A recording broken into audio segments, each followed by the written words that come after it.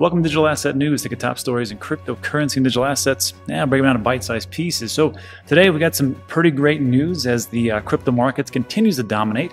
And first up, cryptocurrencies are now worth more than the American banking system. So we'll take a look at what's going on with all this great news on top of the fact that now that cryptocurrencies have actually caught up, now we're going to see more of the institutions like Goldman Sachs go, you know what? I think this is something we should really get into. On top of that, we'll take a look at what's going on in XRP as it hits a two month price high in the wake of an Ether rally. And that's really not the big news. The big news is that the strong hands of the XRP community really has led to this uh, fantastic surgence. We'll take a look at what's going on there, but first take a look at what's going on in the market. Before we do that, uh, just to talk about a couple of things. Uh, I, we are back from Puerto Rico. It was a fantastic trip. If you have ever have an opportunity to go there, it is a great place. It's beautiful. It's nice. And uh, right now, as far as property goes, it's uh, just really just blowing up everywhere. So I'm going to do a video about the uh, ramifications and all the things you really need to know to actually, if you want to move over there, tax benefits going from like 30 to 50% taxes to 0% to 4%, uh, how much time you actually have to stay there, all the legal document, the, uh, the paperwork, and everything else. And I'm actually going to bring in people who live over there and people you can talk to as far as like real estate agents and even people to get the paperwork going. So I will put that all together, of course, for free, and it'll be on the YouTube channel on top of, we'll put it over there at danteachescrypto.com. Again, 100% free website. If you haven't checked it out, please do so. So uh, we'll do all those things. And that is the first part. The second part is you notice that I do not have any earphones in. Finally got uh, this SM7B microphone and an actual arm that holds it. So now I have to just hold the darn thing and actually use my hands and express myself, all that good stuff. So uh, we'll will uh, this will work out uh, hopefully. And if it does uh, do its job then uh, we'll stick with this microphone. Anyhow this is what's going on uh, with the markets. First of all the market cap is uh, it was at two over two trillion dollars. So congratulations we made it. We did a two trillion dollar market cap. And imagine just a year ago uh, everybody was talking about how cryptocurrency was dead digital assets were going nowhere. Uh, you know, you had some gold bugs who were just dancing on the grave uh, of all of us and going, "You guys were morons." Well, who's laughing now, sucker? And uh, it's going to only really increase uh, as time goes on. Um, not financial advice, of course, uh, for entertainment purposes only. But if you're just getting in right now, this is a fantastic time to be in crypto and digital assets. So right now we dipped a little bit. 1.97 trillion. And like I've always talked about, as long as there's people out there who are uh, you know need to take profits or who like to manipulate or who are just plain out greedy, uh, you're going to see these fluctuations. This is normal. This is okay. 10%, 20% is a big deal in uh, traditional markets. Uh, of course, in crypto markets, we call that a Tuesday, so nobody cares.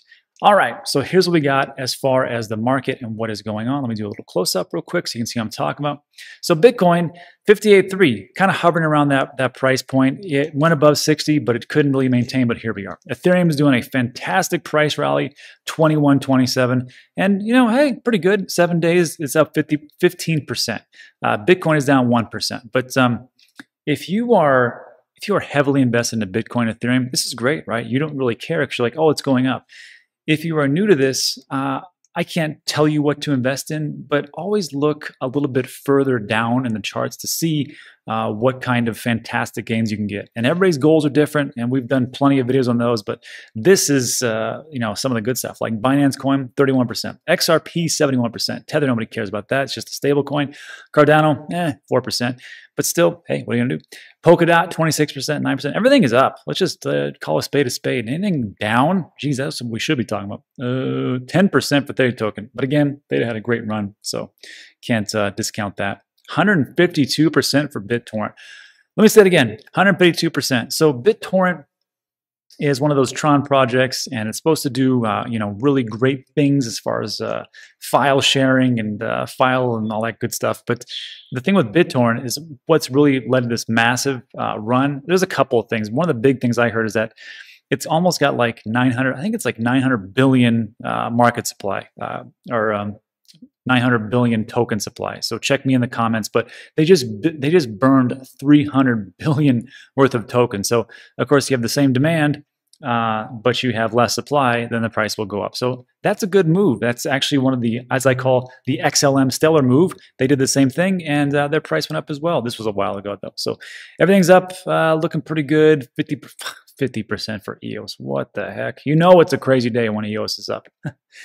and I make fun of EOS because I own EOS. And uh, I think it's uh, one of my one of my crazy holds. And then let's take it, let's click on the projected range for trade the chain. If you're looking for trade the chain, the link's in the description. It uses sentiment analysis and gives you 90% accuracy about uh, what it could potentially do in the next hour or four hours and so on and so forth. So if you're a trader, I'm not. Look at uh, Helium, Rari, Qtum, Alpha Finance, OmiseGO, Gas, Venus, Vertcoin, Digibyte. Those are the ones that are can potentially go up uh, massively over the next hour to four hours. So that's what's going on in the market. Let's break into today's top stories, shall we? All right. I love these stories. I love these stories not because um, you know it really changes the mind for us. We already know where we're at. What it changes the mind is all the people that have been left behind and lied to and bamboozled by saying, "Hey, this crypto and digital assets is just a fraud and a scam and everything else. You need to stay away because all the money laundering and all the uh, cartels use it." So when you have something like this, it just reinforces people going, oh, wait, this is a big thing. And then when we start to see like these big traditional players come in, then like, oh, they screwed me again and they lied to me. And uh, this is why I like these stories because it shows people it's okay, come in the water, everything's fine. So, cryptocurrencies now with more than American banking system. All right. So, as the uh, title suggests, the total crypto market has surpassed the value of the S&P Composite 1500 Banks Index, which tracks the performance of publicly traded banking institutions in the U.S. And I want to blow up this picture, um, not because I like to brag. I mean, I do like to brag. I, will just I'll tell you that's the truth. But uh, what I like about this, and it's kind of hard to see, is that you see right here, 2017. This is the total cryptocurrency universe market value. And that's pretty much when I got into it, you know, 20, 2018.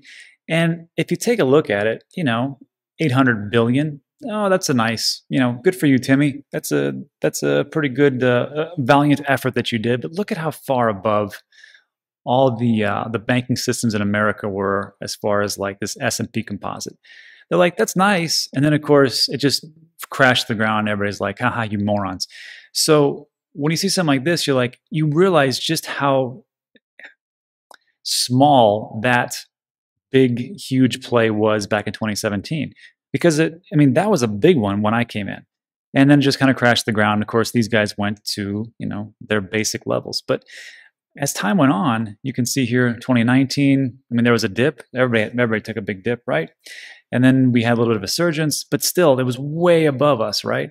But then look at this. Look in 2020 when that huge ginormous crash came about. Uh, this was uh, because of the coronavirus pandemic, and I don't I don't really want to hear about if you believe about it or not. I don't really care about that. What I really care about is that uh, the news shaped the markets, and there was a huge, enormous drop. And there was a drop here. We felt it in cryptocurrency, but look at that drop in the banking sector. Holy smokes! And then here we are, and here we are, and before you know it, bang, we're above everybody or we're above uh, this system in the uh, banking system. So when I take a look at that, um, first of all, it says to me that the bank should have been paying attention, but the banks aren't innovators. Let's just be honest. Uh, when's the last time you went to the bank and like, hey, we got this really great thing that's really going to speed up the whole process and it's going to be really great for you? never happens. Banks kind of suck. Not bank employees are great. But the banks themselves, uh, especially the ones at the top, the ones that kind of shape everything, they're kind of stuck in this big, huge uh, slog, and they really can't do too much. So when cryptocurrencies or assets really start to catch up to them, it's already too late. The same thing happened with Netscape Navigator. Same thing happened uh, with Blockbuster. Uh, fill in the blank. The same thing happened with like MySpace. Fill in the blank of any technology that really came over and just ate everybody's lunch. Same thing happened with Airbnb and hotels uh, before you know it, uh, if you don't pay attention to the competition around you, uh, you just got blockbustered. And that's essentially what is happening here. And now the banks have been put on notice, and I think they're really feeling that crunch. So uh, this is what we have for just this little snippet here. And uh, it just makes you realize, hey, uh, we're in the right place at the right time. Anyhow, to finish this up, uh, despite this declining dominance, Bitcoin allow, alone is still now worth more than JP Morgan, Chase, Bank of America, and Wells Fargo combined. So if we take a look at the total market cap, roughly 2 trillion. Uh, Bitcoin's like 1.1, 1.2 trillion. It's still bigger than all these banks combined. So when they were talking about how it's a fraud and a scam and everything else, well, first of all, they were still doing things behind the scenes because they don't want you to know because that's not how the banks make money. And of course, uh, this all happened, and uh, that's okay. Uh, the smart ones, the ones who took the time and did their own research, they realized, hey, uh, this is a great opportunity. So now they're like, well, now it's public and we can't keep the genie in the bottle, so we better get uh, in front of it as fast as possible. But the train kind of left the station.